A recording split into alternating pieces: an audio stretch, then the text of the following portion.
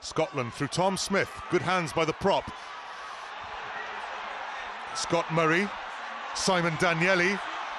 Lewsey is back to cover. Danielli is through for the try. Luck goes Scotland's way for a change. And they're back in this game. Well, mild deja vu there. Balshaw, very much like Ben Hinshelwood in the first half, is in the right place, but the bounce the ball beats him. Simon Dan- Danielli doesn't care. He's the recipient of the fortune. Have a look here. That's his good hands, including two forwards. And he, well, he's, he's there, isn't he? He's totally there. I don't think you can blame Balshaw for that. It's that old bounce of the rugby ball, isn't it? Very tricky to predict.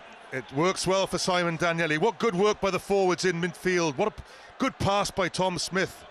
Good hands and the finish by Simon Danielli.